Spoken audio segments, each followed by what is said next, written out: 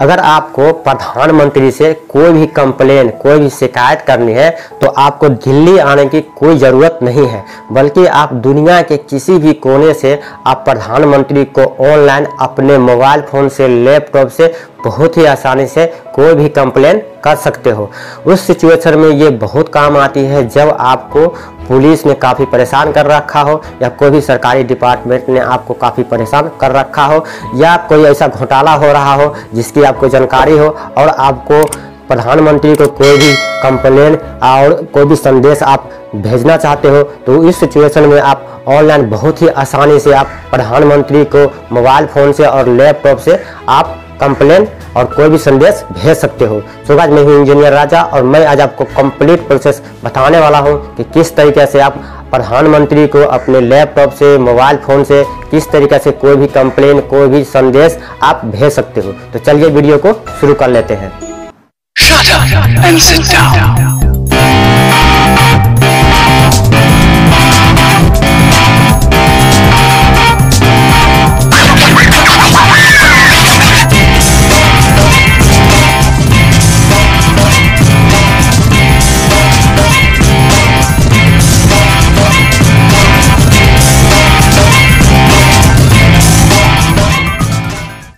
सबसे पहले आपको क्या करना है, अपने मोबाइल या अपने लैपटॉप के ब्राउज़र में ब्राउज़र में टाइपिंग कर देना है P M India dot G O V dot in slash E N slash पे आना है? तो मैं इसका लिंक वीडियो के डिस्क्रिप्शन में भी दे दूँगा, जहाँ से जाके आप डायरेक्टली इस पेज पे आ सकते हो। सबसे पहले आपको यहाँ लैंग्वेज चूज़ करना होता है। यहाँ से देख रहे हैं इंग्लिश हिंदी गुजराती मराठी मणिपुरी इसके बाद हो गया ओडिया मराठी पंजाबी तमिल तो आप जिस भी लैंग्वेज में आप इससे अपना कंप्लेन करना चाहते हैं, वो आपको लैंग्वेज यहाँ से आपको चूज़ कर लेना है।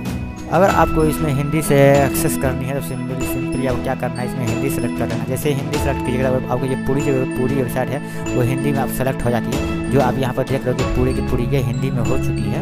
इसके बाद यहाँ पे स्क्रॉल डाउन करके नीचे आएगा यहाँ पर देख रहे हैं कि यहाँ पर बोल रहा है कि अपने विचार सुझाव, अगर कोई आप विचार सुझाव देना चाहते हैं तो सिंपली आप इस पर क्लिक करके अपना विचार विचार और सुझाव दे सकते हैं। अगर प्रधानमंत्री कोई भी कंप्लेन वगैरह करना चाहते हैं तो सिंपली यहाँ है प्रधानमंत्री को लिखे, आपको इस पर क्लिक कर देना है।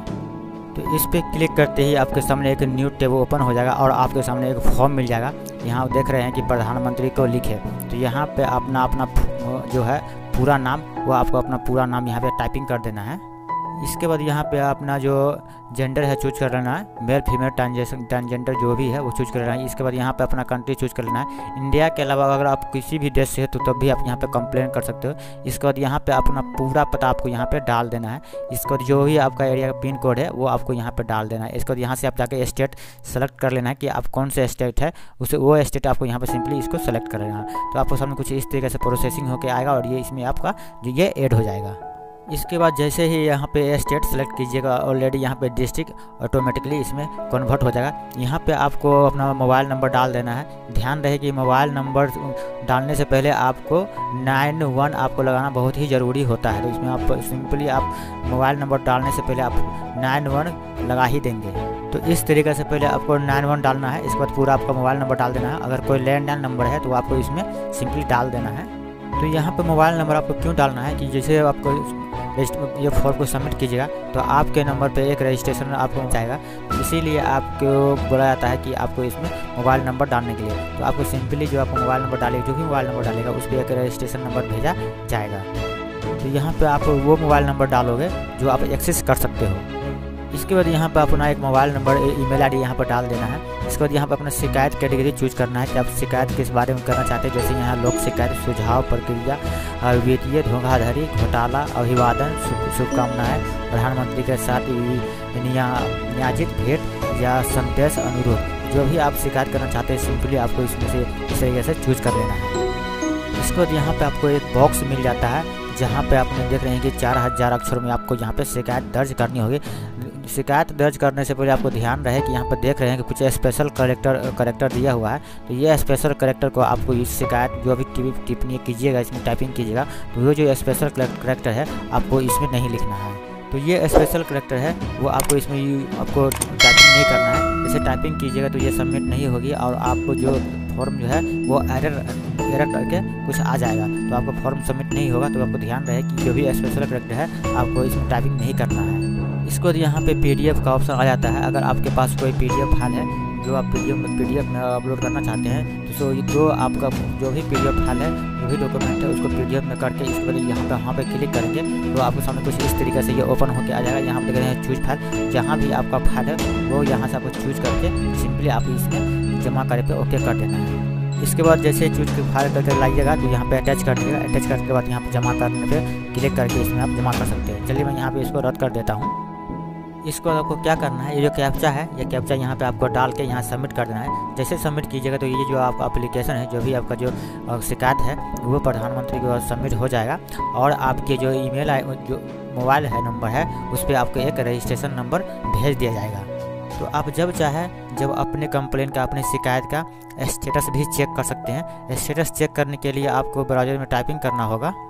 इसके बाद अपने ब्राउज़र में आपको टाइपिंग कर देना है। Grievance redress mechanism in government. तो आपको शॉर्ट में भी आप डाल सकते हैं, जैसे यहाँ जी, आर, एम, जी। जैसे आप डालिएगा तो आपके सामने कुछ इस तरीके से ये पेज ओपन होकर आ जाएगा। कुछ इस तरीके से पेज आएगा। यहाँ देख रहे हैं कि C, P, G, R, A, M, S, home. यहाँ देख रहे हैं कि व्यू स्टेटस आपको इस वाले पर ओके कर देना है। तो आपके सामने कुछ इस तरीके से ये पेज ओपन होकर आ जाएगा। यहाँ जो आपको मोबाइल नंबर पर जो रजिस्ट्रेशन आईडी मिला होगा, वो आपको यहाँ पर डालना है।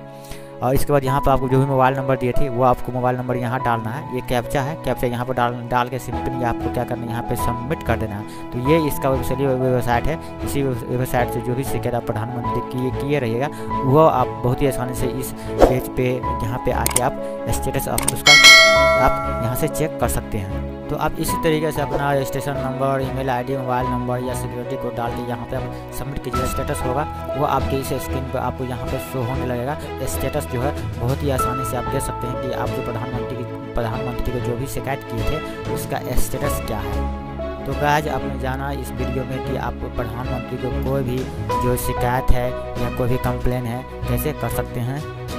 एक बार कंप्लेन आने के बाद मैक्सिमम तीन महीने का टाइम लगता है उसका सोल्यूशन आने में। अगर आपने कंप्लेन कर दिया है तो आपको सब्र रखना है अपना सोल्यूशन पाने के लिए। सो आई होप कि ये वीडियो आपको काफ़ी पसंद आया होगा। अगर वीडियो पसंद आया तो वीडियो को लाइक करिए, अपने फ्रेंड्स के साथ शेयर करिए। अगर आपके दिल में कोई क्वेश्चन हो तो नीचे कमेंट बॉक्स में जाके कमेंट करके पूछ सकते हैं।